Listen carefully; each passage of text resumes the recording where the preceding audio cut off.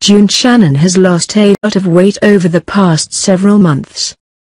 But she has not lost her desire to make money off reality television. The former Here Comes Honey Boo Boo mother disappeared from the spotlight for many years after TLC cancelled the series that made her and her family into D-list stars back in the day but she popped up again in early 2017 as the anchor of Mama June, from Not to Hot on WETV. Although, to be fair, anchor may be an unfair word to use here. The program centered on how Shannon went from weighing over 400 pounds, that is not, to weighing under 200 pounds, that is hot. She did so by going on a very strict diet and also by going under the knife on multiple occasions. In April, Shannon showed off her svelte figure on an episode of her new reality show, blowing away ex-husband Sugar Bear and every viewer who had followed Mama June since her days as, well, as an extremely fat person. We're not trying to be mean. Shannon was simply overweight and unhealthy by any objective measurement. Over the course of about six months, however, underwent surgeries that includes the insertion of a gastric sleeve, a breast augmentation, skin removal on her turkey neck, bat wings, and stomach, the latter being area where doctors removed about 9 pounds of loose skin. Shannon now weighs approximately 160 pounds.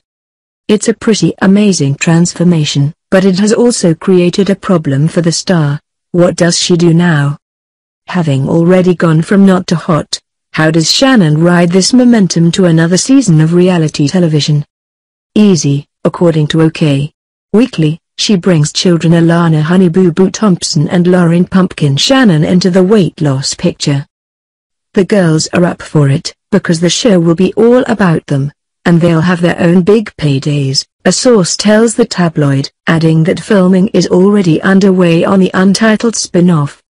Like their mother, Alana and Lauryn both share an enjoyment of junk food, along with sketti, a pasta covered in butter and ketchup concoction that became famous back during the Here Comes Honey Boo Boo days. Thankfully, neither young woman will undergo any surgery on this upcoming show. They will instead stick to a healthy diet and be made to exercise on a frequent basis. Is there something creepy and seemingly inappropriate about a TV show that focuses on the unflattering bodies of two children? Yes. But it's hard to find too much fault helping kids eat well and work out often. I don't want them to end up like I did at 460 pounds, June has previously said of her daughter's health. Who would want that?